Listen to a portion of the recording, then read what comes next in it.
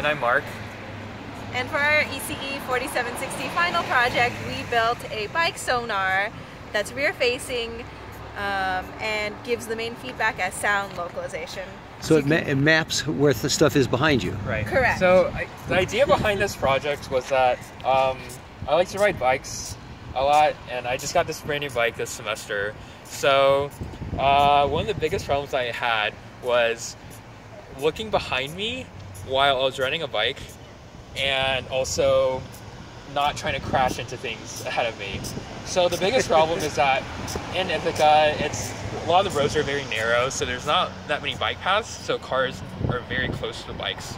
Okay. Um, and the problem is that if you want to merge left, uh, there's it's very hard to see if there's a car behind you unless you actually look. Okay, so this so this this uh, scans back and forth. Right. There's a display up on the on the handlebars, Yes. which is So this is a visual display for what the sonar is sensing behind you. Um, we have the system powered by a 5 volt battery pack. Mm -hmm. and the servo and ultrasonic sensor are connected to this PIC. Uh, so you can see we have a, a couple wires running down the length of the bike, and then the servo and ultrasonic mounted in the rear. We also have radio communication between our two standalone systems, so between the system that sits on the bike and the system that's mounted on the helmet. Uh, the radios communicate the angle of the servo and the distance of the object it senses, and then the PIC on the helmet produces the sound local- localization, so the audio feedback. and so you have a pair of earbuds that you Right. that you put in, and and then the so the phase of the sound tells you where the the the the the sounds the where the right sonar is pointing, Correct. and the intensity tells you how close it is. Correct. So the further you are, the quieter it will be. If the sensor doesn't sense anything, there are no things in range, then you will not hear any audio feedback, and the closer you are, the louder it will be.